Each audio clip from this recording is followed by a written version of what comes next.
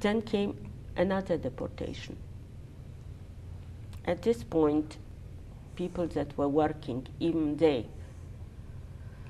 were divided. We all had to leave the apartment. My grandmother was, Eva Feil, was very sick with double pneumonia at that point, high temperature.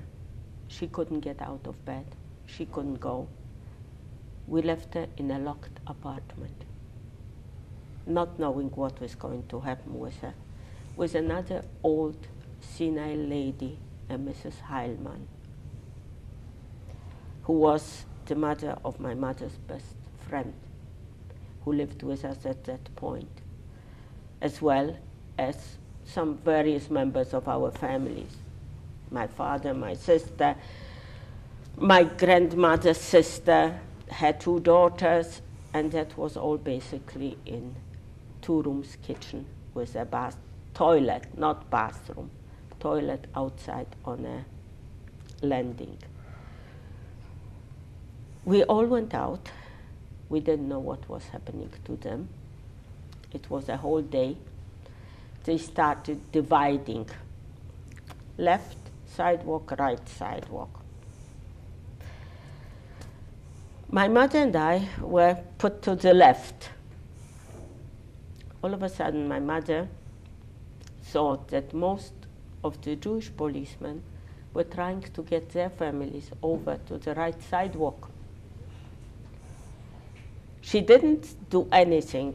She just gave me one push and said, Run. Don't look.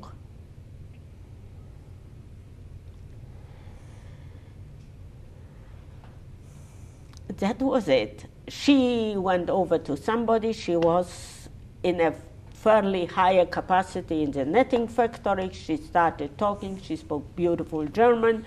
She was a very presentable, live woman, and they brought her over to the right side. They bunched us out to the factory where we spent the day working. We came in the evening home. We realized that they did not break down the door. Ours was one of the few apartments where they did not break down the door, and my grandmother was there. When I came back,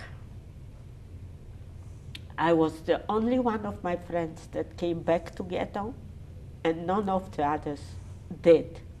At that point, I heard the biggest, I think, argument between my father and my mother that I have ever, ever heard. My mother has got a temperament. She still is alive, thank God. And she has been quite a feisty lady all along.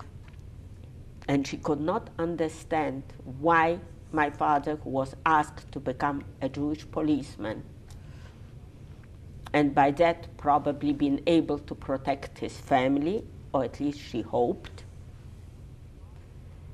would not undertake the job. And the only thing I, I heard, and that was because it was yelled at night, my father answered, They will lead me to death, but I won't lead anybody to death.